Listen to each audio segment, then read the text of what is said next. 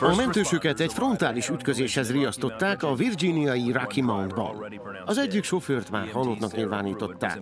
Sarah Prait mentőst ezért a másik kocsihoz irányították, ahol az 53 éves Ron Clark a felborult kocsiban alig lélegzett. Az állapota miatt én szinte biztos voltam benne, hogy még azelőtt meghal, hogy kivennék az autóból. Szóltam a többieknek, akik a kocsi másik oldalán dolgoztak, hogy siessenek.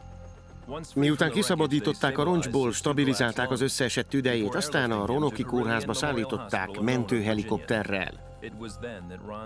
Ezután hívták fel Ron édesanyját Jerryt a hírekkel. Tudtam, hogy nagy volt a baj. Még mindig az életéért küzdöttek. Közel volt a halálhoz.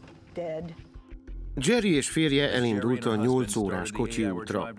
Jerry közben elkezdte hívogatni a barátaikat és a családjukat, hogy imát kérjem. Tudom, mire képes az ima ereje, mert amikor Isten népe imádkozik, akkor megváltoznak a dolgok. Akkor még nem tudtuk, mi lesz, el is veszthettük volna Ront azon a napon. A kórházban az orvosok elmondták, milyen súlyosak Ron sérülései. A Glasgow skálán 8 pontos volt a kóma tesztje, ami nagyon alacsony. Mindkét melkas ürege összezúzódott, és ehhez több más sérülés adódott még. Szóval több életveszélyes sérülése is volt. Nagyon rossz volt őt így látni, összetörötten. A teste annyira össze volt törve, mindenhonnan csövek álltak ki. A következő héten Ron több műtéten esett át. Helyrehozták a törött csípőjét és a törött medence csontját. Az orvosok viszont továbbra is aggódtak a fej és a nyaki sérülések miatt. Több MRI és CT vizsgálat után bebizonyosodott a feltételezés, hogy Ron úgynevezett atlantó-occipitális diszlokációt szenvedett el hétköznapi nevén belső lefejezést. Az idegsebész Erik Marvin elámult, hogy túlélte. Sok ember hal meg súlyos balesetekben nyaki sérülések miatt. Legtöbben az Atlanto-occipitalis diszlokáció miatt, ugyanis ilyenkor a gerincvelő is sérülhet, ezért leáll a légzés, a szívműködés és jön a halál. Ez szörnyű sok volt.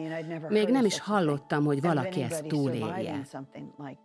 Ront előkészítették a műtétre, hogy a koponyáját és a gerincét összeillesszék. Közben dr. Marvin elmagyarázta a családnak, mire számíthatnak. Fel sem merülhetnek egy ilyen beszélgetésben olyan kérdések, hogy mikor fog újra járni, munkába állni, heti ötször edzeni.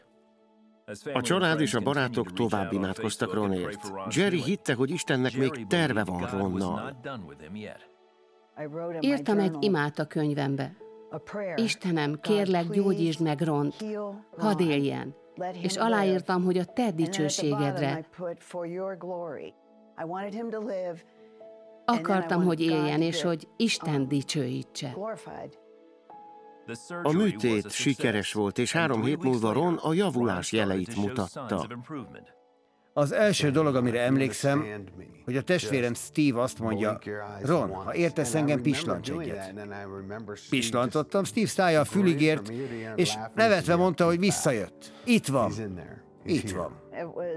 Csodálatos érzés volt, hogy nem fogom elveszíteni az egyik fiamat. Nagy hálát éreztem Isten felé. Még mindig nem volt biztos, hogy újra tud majd járni, de Ron tudta, hogy Isten nem hagyta előtt. Jobban érezte Isten jelenlétét, mint valaha. Mindig éreztem egyfajta jelenlétét. Egy erőt. Ami rajtam kívülálló, ami tőlem független. Tudtam, hogy Istennel járok, és ez sosem volt kérdés számomra. Isten jelenléte és a felépüléséért szóló ima megerősítette.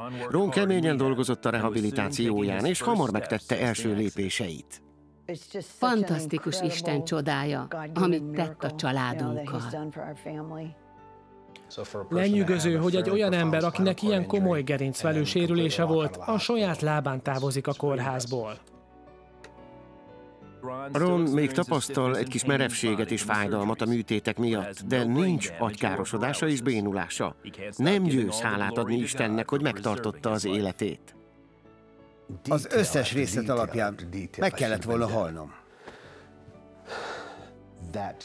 Ez megváltoztatja az embert.